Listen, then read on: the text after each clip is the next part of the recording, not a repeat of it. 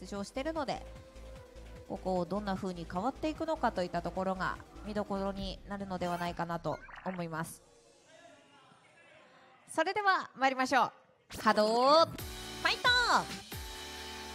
さあまずはオルカのステータスからご紹介していきます。1番奥川米選手4321真ん中白黒選手1135そして一番手前やはる選手4321となっております。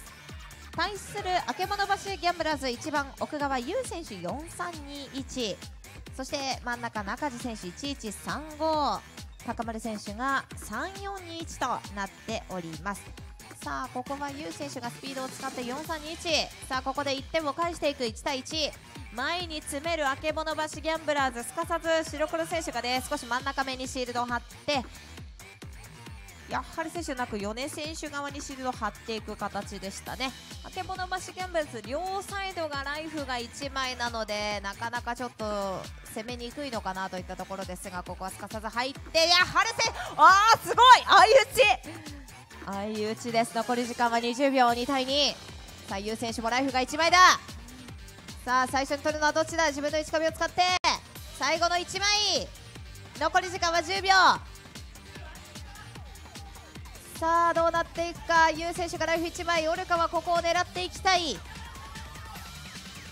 さあ延長戦だ！今日初めての延長戦です。どちらかが1点取った方の勝利になります。それでは参りましょう。オーバータイムマッチスタートです。ライフが少ない人が狙われるこのオーバータイムマッチ。オルカはアタッカーが狙われていくかあけぼの橋ギャンブラーズユウさんユウ選手が狙われていくのか。さあ米選手が前に出ようとしている。ここそう取った2対3あけぼの橋ギャンブラーズの勝利です。はい決めポーズいただきました。